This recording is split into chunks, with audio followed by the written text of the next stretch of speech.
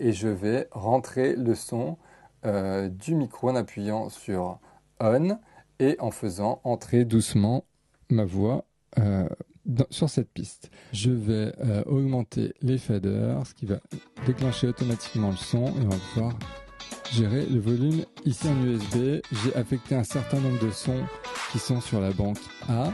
Donc je vais activer la banque A et euh, je vais pouvoir lancer ces sons. Donc il y a des sons d'explosion,